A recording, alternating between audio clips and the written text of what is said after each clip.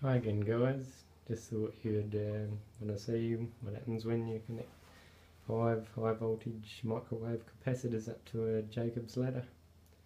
It's very loud.